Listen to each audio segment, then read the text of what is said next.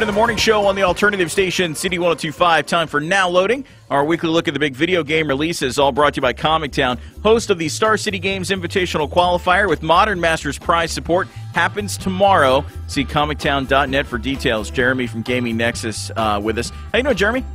Oh, I'm not doing too bad. How about you, Joe? Uh, pretty good, man. We've got uh, three games to talk about today. Let's have the first one. Yes, there are three big releases this week. First up for race fans is Grid 2. Now, this is available for the Xbox 360 and PlayStation 3, and this is the sequel to a game that uh, launched back in 2008 and received huge critical acclaim um, for its realism and its accessibility. It's kind of a good mix of the two. But uh, this one has a vehicle selection that spans more than four decades, and it kind of sets you off into a bunch of worldwide cities. You may be racing places like Paris and some famous U.S. cities. But the big draw here is the multiplayer because it kind of integrates what is called RaceNet, which is an online service that kind of tracks your stats over time and compares them with the world. Okay. And um, through their through their hub website, um, you can get people can watch your races because it automatically update uploads of videos to YouTube's of your different feats and whatnot, and then they can send you challenges online, and you can kind of get fans through your virtual website. So. Early pre- previews have been very positive, and reviews should start hitting. Well, they started last night and today, and it looks like it's pretty good, just like the first one. Okay, what's that? What's that out for? That is Grid 2 for the Xbox 360 and PlayStation 3. Okay, I love a good racing game, by the way. Yeah, it's it's it's a good one. Yeah. Uh, what else? Um, all right, for shooter fans, there's a game called Fuse which launched this week. Now, this is from a studio called Insomniac Games. Now, they've been best known for the Ratchet and Clank series, which has been pretty big on PlayStation, but this is their first game that's coming out for a variety of platforms. Um, this is available on Xbox 360 and PlayStation 3, and it's a um, game that was previously known as Overstrike. It looked like a very uh, comedic military game. Well, they scrapped it and took it in a serious direction and relabeled it as Fuse.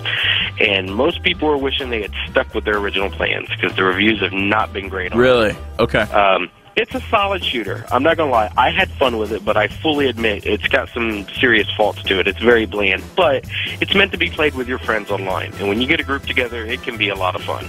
But the reviews have been really. But you could say that. But you could say that. But Jeremy, you could say that about any game. So really, I mean. Well, no, I mean there, there are really some some great things in it because the the weapons are really the star of the game because you get these. Yeah. Uh, they're powered by this alien technology called Fuse. So, and you get to enhance these weapons, and they kind of grow over time. Okay. And you truly have to work together. Um, to take down your enemies, and the weapons kind of work with one another. You know, one guy can freeze somebody into solid, and another guy has these bolts that shatter them. But playing with the computer, it's okay, but your computer partners aren't the greatest. Yeah. But you know, you get friends on there, and you can actually, you know, have some fun just joking around with it. So, I enjoyed it, but no, the reviews have not been great, and I would say rightfully so. Okay, what's that game again, and what's that for? That that is Fuse for the 360 and PlayStation 3. Okay.